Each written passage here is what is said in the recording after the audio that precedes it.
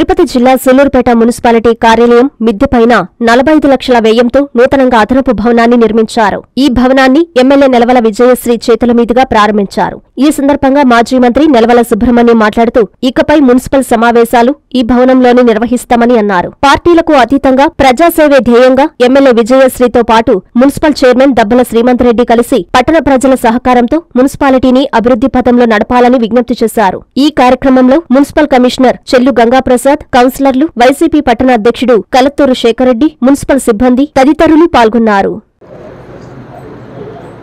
మా తెలుగుదేశం నాయకులకి దశ దిశ నిర్దేశించే ఏకైక తెలుగుదేశం పార్టీ సీనియర్ నాయకులు పెద్దలు సుధాకర్ రెడ్డి గారికి స్థానిక శాసనసభ్యురాలు నా కుమార్తె డాక్టర్ నెలవల విజయశ్రీ గారికి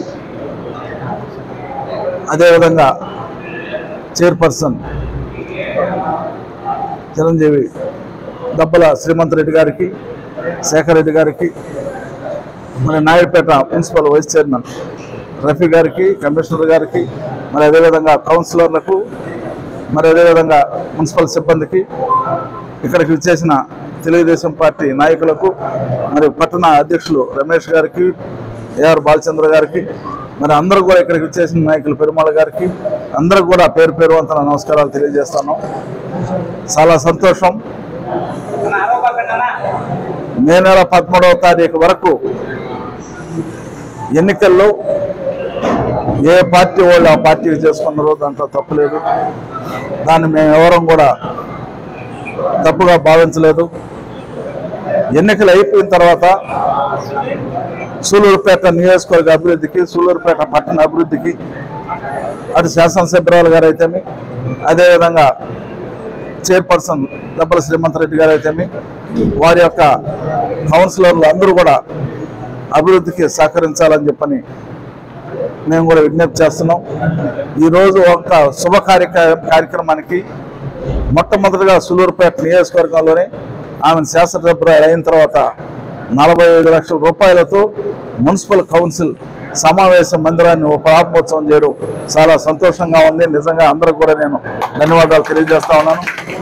మరి భవిష్యత్తులో మరి ఆమె చేతుల మీదుగా ఈరోజు సమావేశ మందిరమే కాకుండా భవిష్యత్తులో ఎన్నో కార్యక్రమాలు మరి ఇక్కడ మున్సిపల్ పరిధిలో అయితేమి మరి అదేవిధంగా గ్రామాల పరిధిలో కూడా అన్నీ కూడా మంజూరు చేయించుకొచ్చి ఇంకా ఇక్కడ కార్యక్రమాలని ఆయన ప్రారంభోత్సవం చేస్తే దానికి అవకాశం కల్పించాలని చెప్పని అధికారులని అదేవిధంగా మున్సిపల్ సిబ్బందిని కోరుతూ మరి ఈరోజు చైర్మన్ గారు డబ్బుల శ్రీమంత్ రెడ్డి గారు మరి వైసీపీ ప్రభుత్వంలో ఆయన ఉన్నా మరి ఇప్పుడు ప్రభుత్వం మారింది ప్రజలు తీర్పు ఇచ్చారు ప్రజల యొక్క తీర్పుని మనం కూడా శిరసావహించాలా?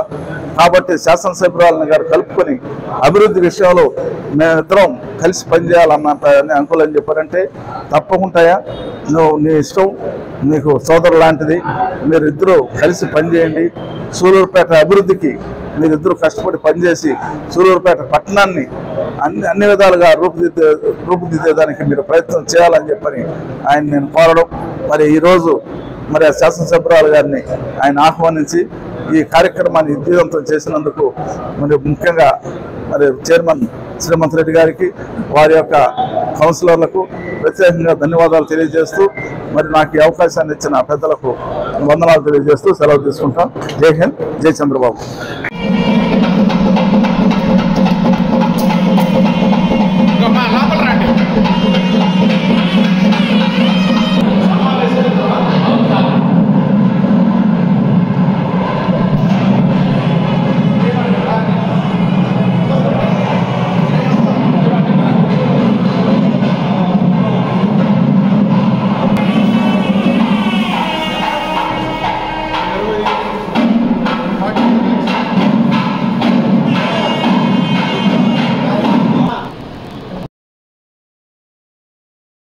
ఎన్ఎల్ హాస్పిటల్స్ అత్యుత్తమ వైద్య సేవలు సామాన్యులకు అందుబాటులో. అపార అనుభవం గల వైద్య నిపుణులు doctor Nagendra Prasad Kulari managing director గుండె వ్యాధి వైద్య నిపుణులు గారి ఆధ్వర్యంలో cardiology neurology surgical gastroenterology orthopaedic ప్రసూతి మరియు గైనకాలజీ పల్మనాలజీ జనరల్ మెడిసిన్ మరెన్నో పలు విభాగాల వైద్య సేవలు అత్యాధునిక ఎక్విప్మెంట్ గల ICU operation theatre cath lab twenty four by seven emergency మరియు క్రిటికల్ కేర్ అడ్వాన్స్డ్ మిషనరీ గల ల్యాబ్ సిటీ స్కాన్ ఎక్స్రే మరియు సేవా విభాగం గల వర్కింగ్ స్టాఫ్. అన్ని కంపెనీల హెల్త్ ఇన్సూరెన్స్ సౌకర్యం కలదు. అందరికీ అందుబాటులో అత్యాధునిక వైద్య సేవలు అతి తక్కువ ఖర్చులో ఎన్ఎల్ హాస్పిటల్స్. పివిఆర్ కళ్యాణ మండపం ఎదురుగా అన్నమయ్య సర్కిల్ దగ్గర మాగుంట లేఅవుట్ నెల్లూరు.